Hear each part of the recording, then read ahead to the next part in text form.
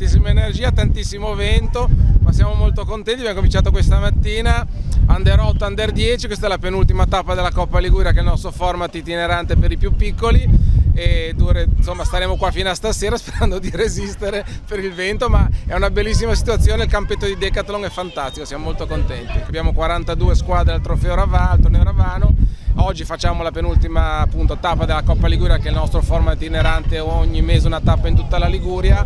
Eh, quindi insomma grande impegno devo dire da, da, parte dei tecnici e degli organizzatori però grande soddisfazione come potete vedere alle mie spalle. Grande tifo, genitori contentissimi, bambini super felici. Quindi questo è quello che ci piace, l'hockey che ci piace. Ragioni per provare questa disciplina?